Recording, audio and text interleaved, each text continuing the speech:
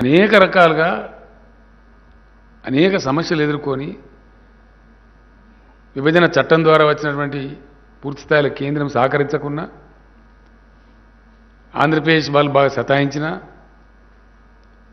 Within Telangana ఉన్న కొంతమంది రాజకీయ రాక్షసులు వందల వేల కేసులు వేసినా అన్ని ధీటుగా ఎదుర్కొని బ్రహ్మాండంగా ప్రాజెక్టులు కట్టాం.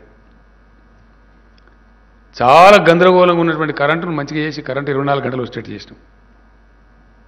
గ్రామీణ ఆర్థిక వ్యవస్థ పటిష్టం కావాలని ఒక్క వ్యవసాయం కాదు అనేక రంగాలలో చర్యలు తీసుకున్నాం. దాంట్లో వ్యవసాయం కూడా చాలా బాగా పటిష్టపరిచినాం.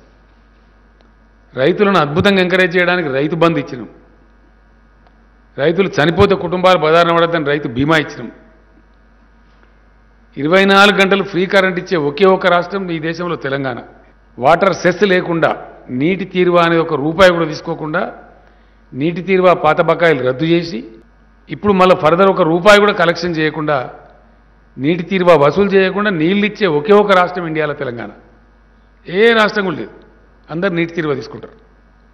కాలువల ద్వారా ప్రాజెక్ట్ నీళ్ళు కనుక ఇస్తే చెరువుల ద్వారా ఇస్తే కూడా వాటర్ సెస్ కలెక్ట్ చేస్తారు. ట్యాక్స్ నీటి పన్ను వసూలు చేస్తారు. పాత నీటి పన్ను బకాయిలు రద్దు చేసి ఇప్పుడు కొత్తగా నీటికి పన్ను లేకుండా మా రైతాంగం బాగా పంటలు పండించాలని పండిస్తున్న ఏకైక రాష్ట్రం తెలంగాణ. దీంతో ఏమైపోయింది? మీకు ఇచ్చిన టేబుల్లో ఉన్నది బ్రహ్మాండమైనటువంటి వ్యవసాయ విస్తరణ జరిగింది. చాలా అద్భుతమైనటువంటి పంటల దిగుబడి పెరిగింది తెలంగాణలో. మీకు ఇచ్చిన టేబుల్స్లో ఉందండి. చాలా స్పష్టంగా ఉంది. మేము గతానికి ఇప్పటికి కంపారిజన్ కూడా ఇచ్చినాం మీకు. గత పదేళ్ళలో తెలంగాణ రాకముందున్న పదేళ్ళలో అప్పుడున్న కాంగ్రెస్ గవర్నమెంట్లో ఎంత యావరేజ్ ఉంది? Paddy area in lakh acres. Average అప్పుడు ఆ పదేళ్ళలో యావరేజ్ నలభై తొమ్మిది పాయింట్ ఇరవై ఏడు లక్షలు ఉంటే ఇప్పుడు ఏడేళ్ళలోనే నూట నాలుగు పాయింట్ ఇరవై మూడు లక్షల ఎకరాలు సాగైతా ఉంది విస్తీర్ణం. మీ టేబుల్ చూస్తే మీకు అర్థమవుతుంది మీకు చాలా స్పష్టంగా ఇచ్చినాం మేము. ఈ టేబుల్ రెండవ టేబుల్లో ప్యాడీ ప్రొక్యూర్మెంట్ అంటే ధాన్యం సేకరణ. రెండు వేల నాలుగు నుంచి రెండు వేల పదమూడు పద్నాలుగు దాకా అంటే తెలంగాణ వచ్చేదాకా. ఇంకో టేబుల్లో ఉంది మీకు ఇచ్చిన దానిలో.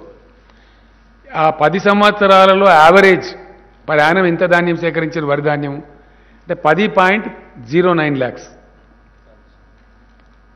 పది లక్షల టన్నులు సేకరించారు. సంవత్సరానికి. ఇవాళ తెలంగాణ వచ్చిన తర్వాత ఏడేళ్ళలో పదేళ్ళు కాలే మాది ఇంకా మూడేళ్ళు కావాలి.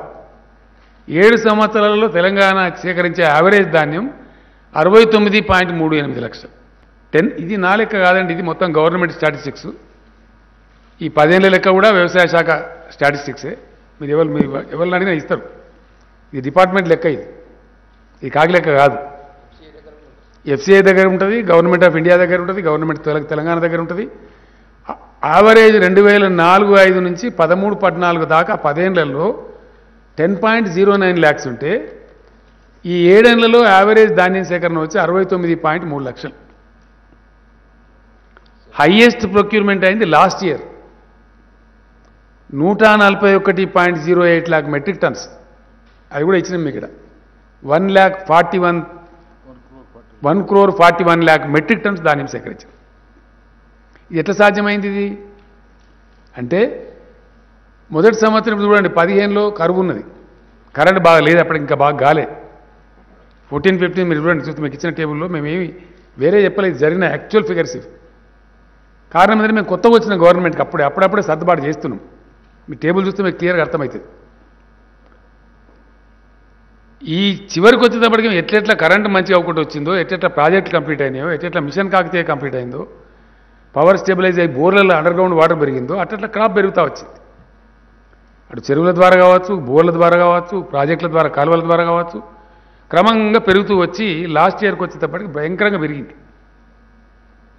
ఒక ఒక నూట నలభై అంటే లక్ష ఒక కోటి నలభై ఒక్క లక్షల టన్నులు ఉత్పత్తి చేసింది తెలంగాణ. ఇది మీకు జీర్ణం కాక మీకు అర్థం కాక మీకు తెలివితేటలు లేక మీకు నిర్వహణ సామర్థ్యం లేక అన్ని అరాకిరి మాటలు మాట్లాడుకుంటూ చాలా దిక్కుమాలిన మాటలు మాట్లాడుతూ ఉన్నారు.